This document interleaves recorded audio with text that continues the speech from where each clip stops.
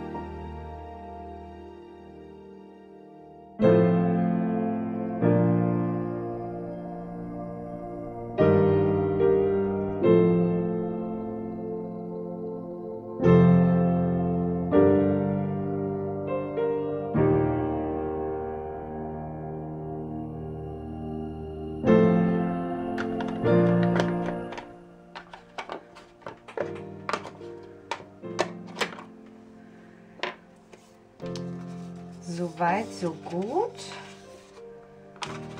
Wisst ihr, was mir gerade aufgefallen ist? Also mal ganz im Ernst. Daran merkt man eigentlich, wie, wie, wie durch ich bin. Ähm, ich dekoriere gar nicht die nächste Woche. Ich dekoriere die aktuelle Woche. Ich dekoriere die KW 38. Es ist Sonntag, der 23. September und ich dekoriere die aktuelle Woche.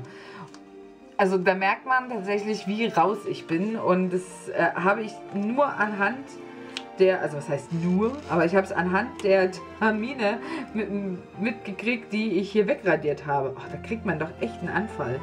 Mein Gott. Ah. Das heißt, ich muss so schnell wie möglich dann auch die nächste Woche dekorieren. Ihr dürft euch also bald auf ein neues Video freuen. Oh Mann. Ah, jetzt muss ich das hier nur unbeschadet ablösen. Uh. Ja, wunderbar. So.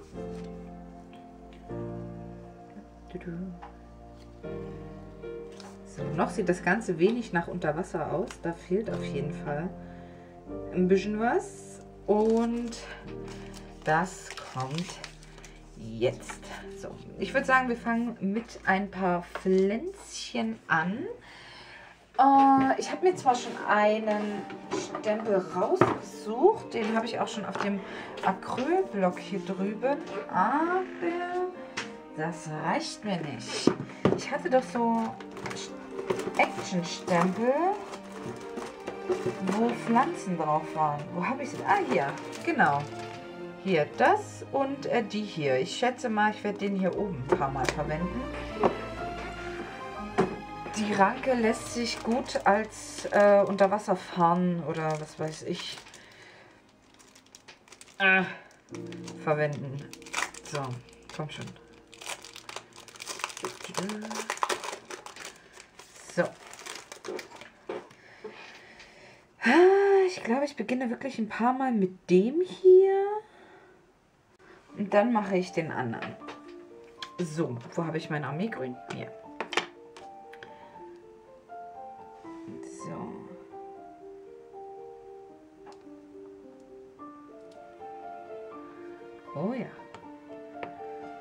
Werden dann natürlich noch ein kleines bisschen ausgemalt.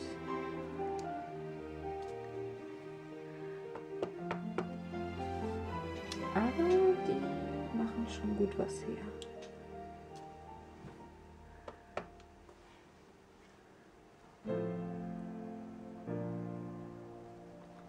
So.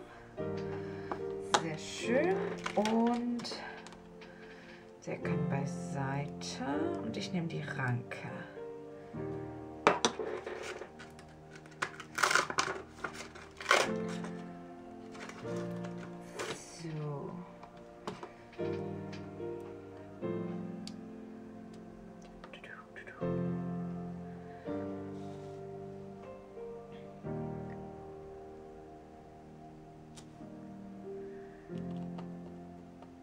Langsam nimmt das Ganze doch schon schön Gestalt an.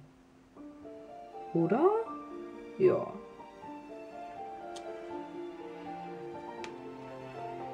Hier wir so einen kleinen Wald draus.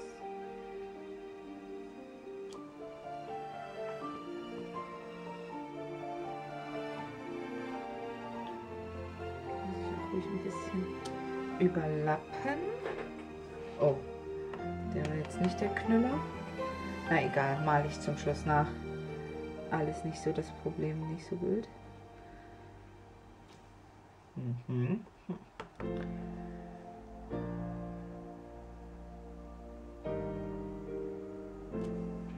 Jo. Schick.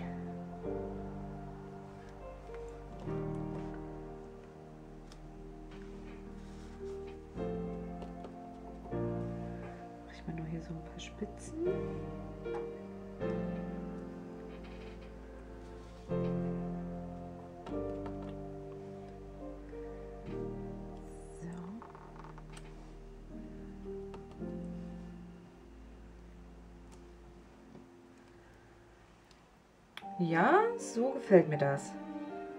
Sehr, sehr schön. Sehr gut. So, dann drücke ich den noch ein paar Mal hier ab. Dann ist er relativ sauber, muss nicht groß gereinigt werden. Und dann kann er zurück aufs die Trägerfolie. So.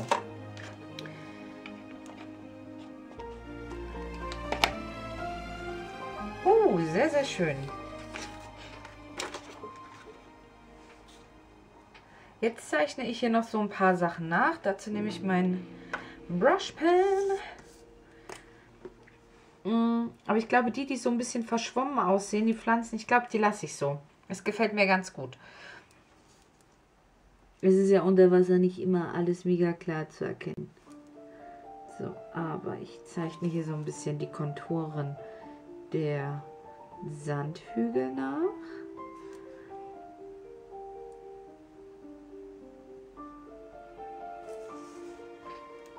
Und die Sandhügel bekommen von mir auch noch so ein paar weiße Akzente. Quasi kleine Sandkrümelchen noch drauf.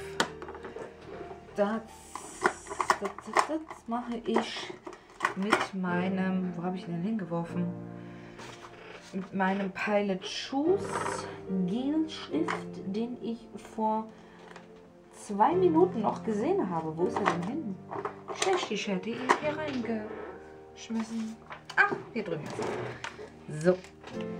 Und was wir sagen müssen, wir sehen ja jetzt noch äh, wenig Ponyo in dieser Dekoration. Das kommt noch, denn die kleine Ponyo, die wird, ähm, die male ich extra auf, ja, auf ganz normales Papier. Und die schneide ich dann aus und klebe die so rauf. Habe ich mir gedacht. So.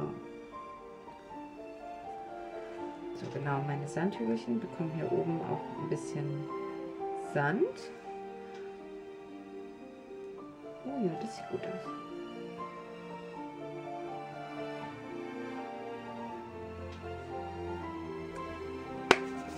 Die kleine Ponyo ist äh, gezeichnet und ich habe mir überlegt, meine Aquarellfarben mal wieder rauszukramen und damit auch so ein bisschen, also ich will Ponyo damit äh, ja, kolorieren und will auf jeden Fall hier meine Unterwasserszene noch ein bisschen, bisschen verschönern. Ähm, ja, und ich denke, dass äh, Aquarell und Unterwasser passt. Das äh, möchte ich doch meinen. Ja.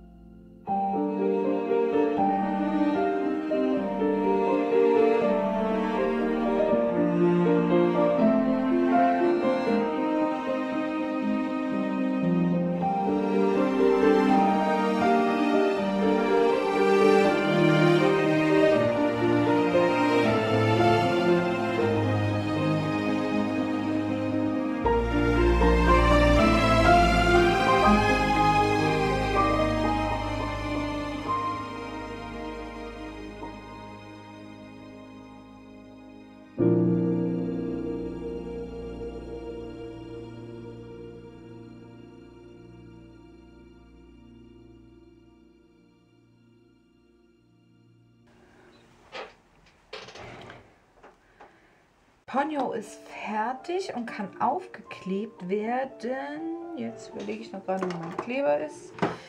Völlig gut vorbereitet hier und heute. Wupp, wupp. Ähm, so. Da braucht es auch nicht viel. Einfach mal ein bisschen Kleber. Und da, wo sie eben gerade saß, gefällt sie mir auch ganz gut. Das heißt, ich werde sie hier hinkleben. So. Toll, toll, toll. Ähm, und da mir das Ganze jetzt aber noch ein bisschen nackig erscheint und hier irgendwie äh, keine, keine weiteren Meeresbewohner sind, außer ihr, ähm, mache ich jetzt hier noch so ein, äh, so ein Farm Schwische rein, so einen Schwarm Fische rein. Und äh, habe mir dazu aus einem Set einfach so einen Mini-Fisch geholt. Und aus dem mache ich jetzt hier so einen, so, einen, so einen ganz großen Schwarm. So, und da hat es sich doch gelohnt, die äh, Memento Lux Stempelfarbe rauszukramen. So. Und jetzt kommen hier einfach ganz viele Fische hin. Und äh, Ponyo guckt die quasi so an, so wie, guck mal, hallo, hallo hier, ich bin's.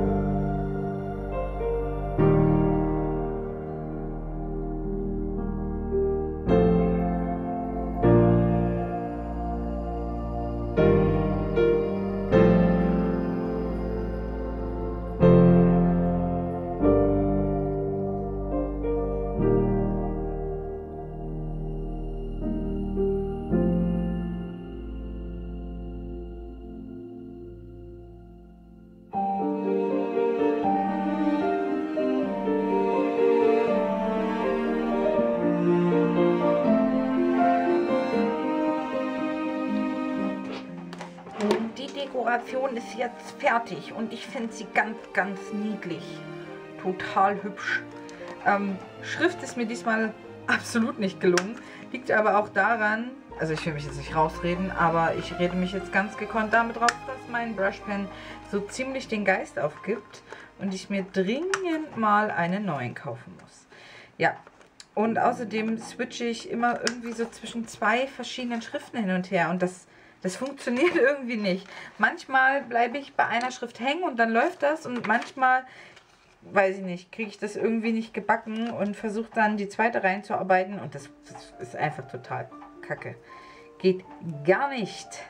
Naja, halb so wild. Okay, das ist jetzt nicht mehr halb so wild. Da das Washi-Tape die Seite einreißt. Na toll. Ist mir auch schon ewig nicht mehr passiert. Und dabei habe ich es ganz vorsichtig abgelöst. Meine Güte. Ich bin mit diesen Einlagen eh nach und nach gar nicht mehr so zufrieden. Ähm, ich finde die zwar schön, aber ich hatte es schon mal erwähnt, dass ähm, der... Oh, scheiße. Dass der Toner, der hier verwendet wurde zum, zum Drucken, Kacke. Dass der ähm, den Stempelfarben nicht standhält. Und das Papier ist auch kacke. Toll. Schön. Naja, mal gucken, was ich nächste Woche mache, damit das nicht auffällt. Verdammte Axt. Äh, ja, aber an sich gefällt mir die Deko echt gut. Ich finde es schön, dass es mal wieder eine völlig bunte Seite ist. Also von oben bis unten Farbe mega. Ist super geilomat. Das Ding kommt in den Planer. Achso, äh, hier unten habe ich noch so einen Stempelspruch. Ne? Unexpected Friendships are the best ones. Und den fand ich super passend. Weil... Ja, äh, die, die Geschichte bei Ponyo handelt ja auch von einer unerwarteten Freundschaft. Und deswegen ist eigentlich ganz passend. Und außerdem guckt Ponyo halt diese Fischchen so an wie Hallo, hallo, lass uns Freunde sein. Und äh, das fand ich gut. Ja, und da haben wir sie. Die Dekoration der Dekoration. Super. Ich äh, versuche dann nächste Woche, ich schätze mal Dienstag, äh, die Deko noch irgendwie fertig zu machen. Ähm, dann für die KW 39, so wie ich es versprochen habe. Aber zumindest kann ich sagen, dass ich die aktuelle Woche dekoriert habe. ah, naja, so war es zwar nicht geplant, aber jetzt ist es so gemacht und wer, wer will sich schon beschweren? Hauptsache ein Deko-Video, oder? Alles klar, wir sehen uns bei der nächsten Dekoration. Bis dahin, tschaußen Klausen.